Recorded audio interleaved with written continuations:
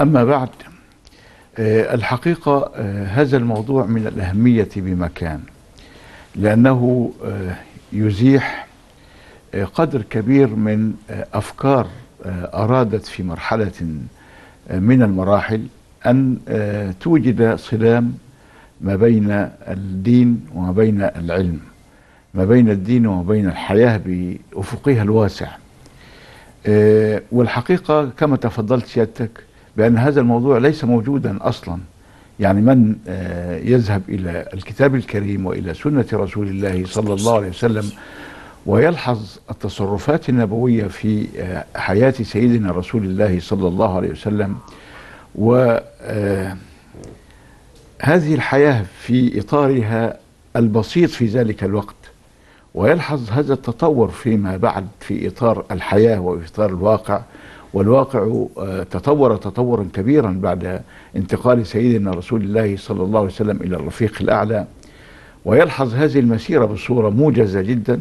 يلحظ هذه المسيرة العلمية التي كانت لدى علماء المسلمين ولدى فقهاء المسلمين ويلحظ ارتباط هذه المنظومة العلمية بالوحي الشريف وبسنة رسول الله صلى الله عليه وسلم ووجه الارتباط بينهما أو بين هذه المنظومات آه، في بكمالها يلحظ بأن هذا الصدام ليس موجودا بل هناك تمازج هناك آه، اتصال وثيق في الحقيقة فيما بين ال- الدين والعلم فيما بين الدين والسعي في الأرض فيما بين الدين والبحث العلمي في آه، تفاصيل كل ال- المناهج.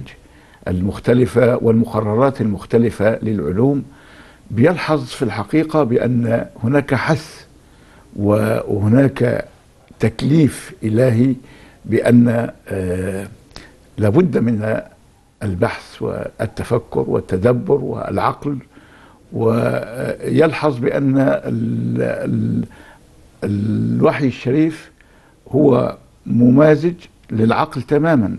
يعني لا يوجد تعارض بينهما. فإذا نحن نريد أن نقول بأن آه، هذا الكلام في هذا الموضوع هو من الأهمية بمكان بالنسبة لي هذه الأطر التي طرحتها. مولانا يعني آه، يعني سيادتك آه، تؤكد أنه لا خصام بين العلم والدين؟ نعم. شوف سيادتك نحن ننطلق من الوحي الشريف. فالوحي الشريف هو المركز. القرآن الكريم وسنة رسول الله صلى الله عليه وسلم هما الأساس.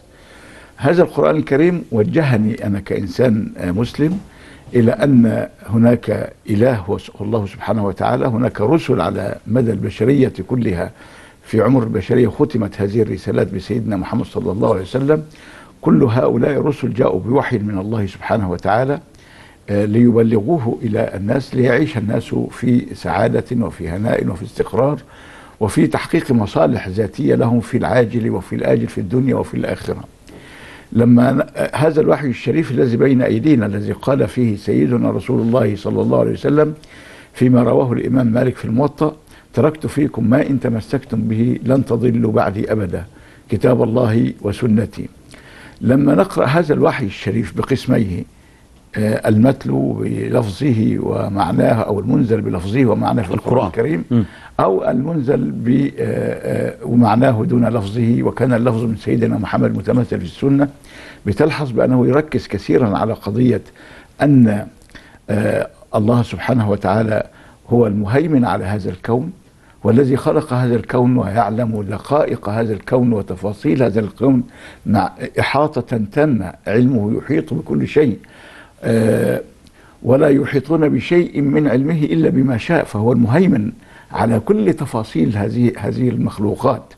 وبناء على ذلك قضية الوحي قضية الألوهية هي المؤثرة في منهجية المسلمين على مدار الزمان وستؤثر في في الب- في البحث العلمي وستؤثر في مناهجنا كلها بحيث إنها آه، إذا جاز التعبير يعني بتوجد حالة من الذاتية لدى المسلمين من الاستقلال لدى المسلمين في مناهجهم حتى الفكرية وإن كانت في في الوقت نفسه ليست في خصام مع المناهج الأخرى بل هي مستوعبة للنظره الكلية في هذه الدنيا مستوعبة لنظرات الآخرين لمناهج الآخرين بحيث أنها آه، يعني تضع هذه المناهج هذه أطر التفكير عند الآخرين على ميزان البحث العلمي لدى ال- ال- ال- الدين الإسلامي ومن ثم ننطلق أيضا نستفيد ونفيد. فنحن لسنا في خصام مع التجارب لسنا في خصام مع الأفكار لسنا في خصام مع آه، كل ما يطرح في هذا الكون.